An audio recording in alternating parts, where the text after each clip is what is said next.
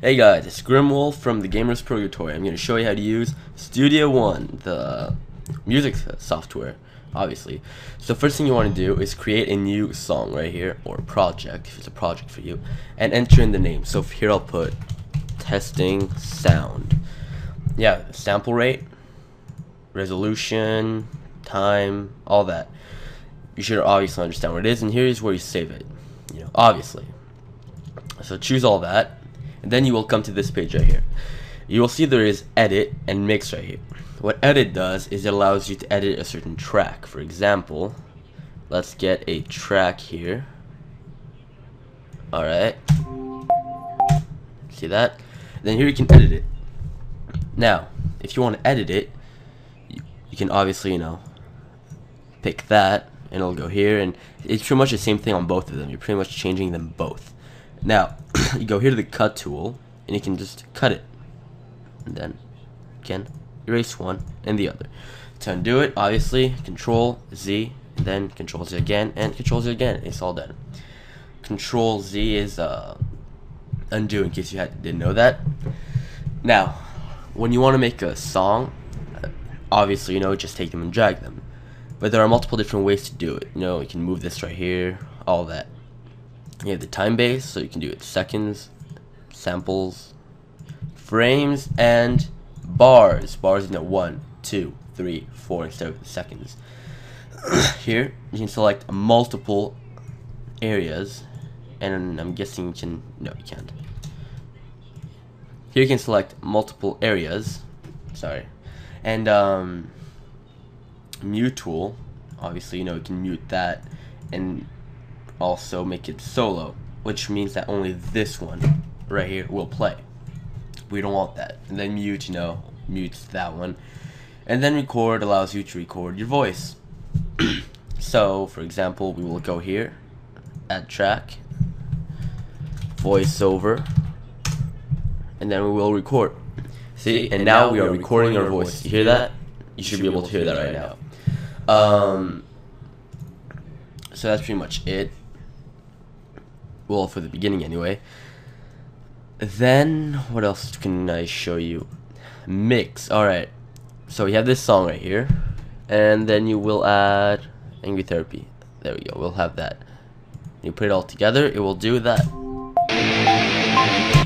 You can change the sound of that.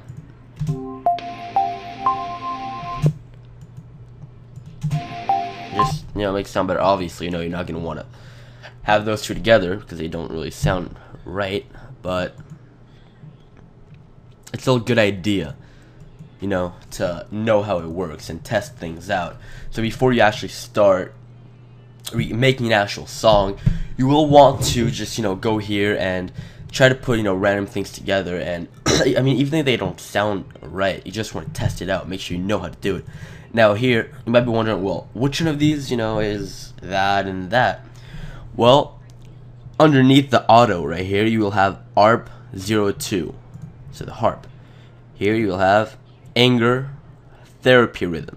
It'll say so right there, and you can even change the color, for example, red, and then it will change to red. It will change that one to blue. now it's pretty obvious, right? Red and blue. Here, we want to change the guitar, alright, the sound of the guitar.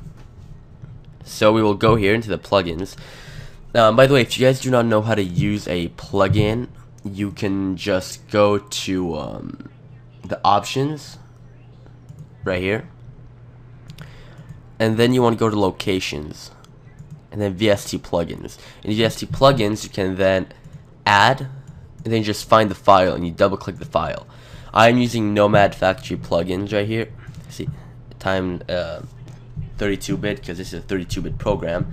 And um, it won't work when you put it in. You have to restart your entire program, otherwise it won't work. You know, obviously, because it has to load them up. Anyway, uh, you go here to inserts right here, and then you do plus, you know, the little plus sign right there. And then you pick, you know, what you want. I will pick magnetic, which is, you know, reel-to-reel -reel audio tape warmer. Obviously, it says it right there. And I will then change it to, let's see, uh, to vintage. Let's do that.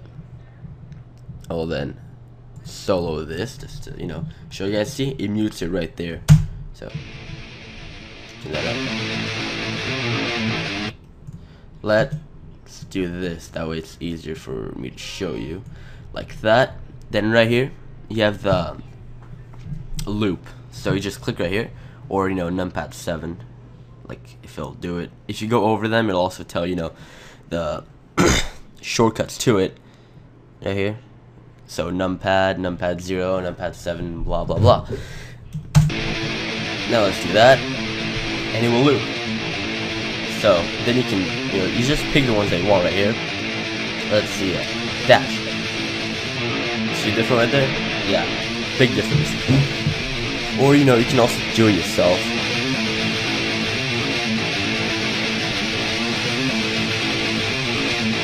I'm just, you know, randomly playing with it.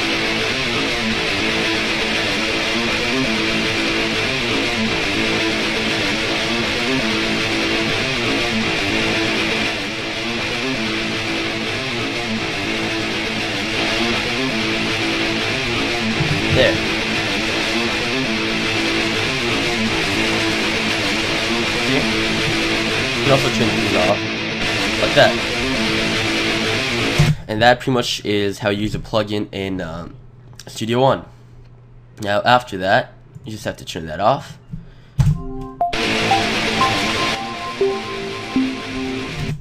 See? And if you want to turn it off, you just click right here, the button, and it turns it off. And that is more or less, you know, the basics of how to use it.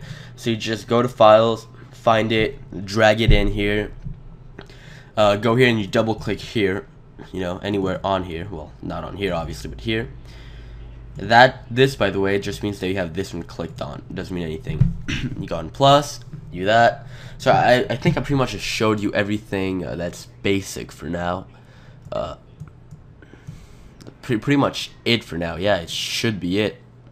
Alright, so uh, next time I will show you guys how to make a simple, you know, song, cutting up the, the songs, putting them together in an order, and uh, all that. Alright, this has been a uh, Grimwolf tutorial on uh, Studio One. Thanks, I hope to see you again. Bye.